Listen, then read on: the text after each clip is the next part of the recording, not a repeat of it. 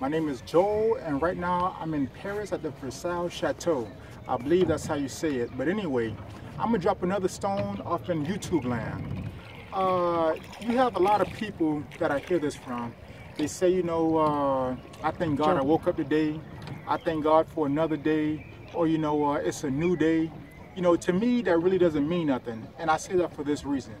You know, if you really look at it, if you really think about it, waking up really is nothing. A dog woke up today, a cat woke up today, a rat woke up today. So the real question is, what capacity did you wake up in a day? Are you in a, a better state of mind? Are you doing stuff you uh, haven't, uh, you, you learn from your mistakes? That, that's, that's, that's what it means to be truly awakened.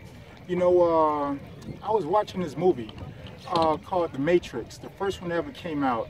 And at the end of the Matrix movie, you have uh, Neo. And Neo, he's standing at the end of the hallway, and you have three agents uh, at, the, at the other end. And so the agents, they shoot their bullets.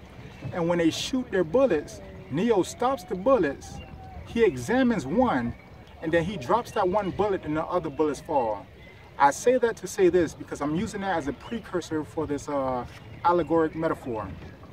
Uh, the bullets doesn't represent physical bullets.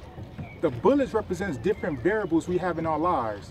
It could be cigarettes, uh, alcohol, sex addiction, whatever label you, whatever you're going on with in your life. The thing is, don't try to stop every bullet because that's dang near impossible. Instead, examine one of the aspects within your life, one of the negative aspects. Deal with that one. And then when you deal with that one, you'll notice how easy it is, just how Neo noticed.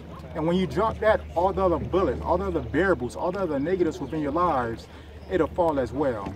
And so, like I always say, you know, the battle we face is not on our jobs, it's not within our bank accounts, it's not within our families. The battle we face every day is within our mind.